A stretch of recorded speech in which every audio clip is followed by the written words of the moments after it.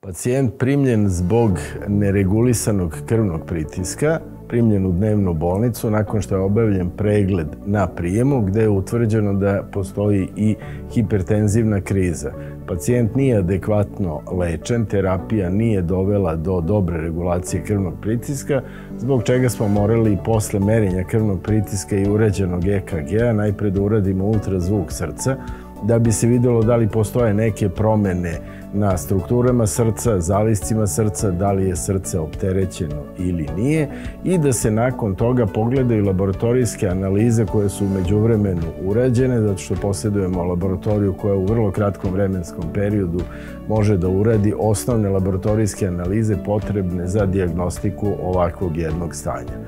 Nakon što je sve to urađeno, pacijent je primljen ovde u dnevnu bolnicu,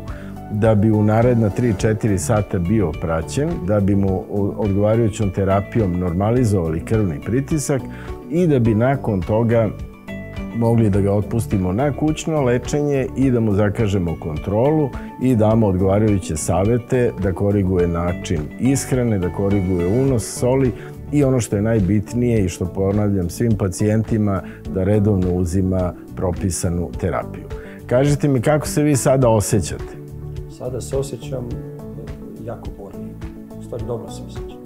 Znači, pacijenti u vrlo kratkom vremenskom periodu, u roku od 3 do 4 sata nakon prijema i nakon dolaska u bolnicu i nakon primljene terapije, dobro regulisan, sprečena je komplikacija i dodatno neurološko ispoljavanje hipertenzivne krize i nakon toga će biti otpušten na kućno lečenje i redovno e, praćenje uz naravno redovno uzimanje propisane terapije.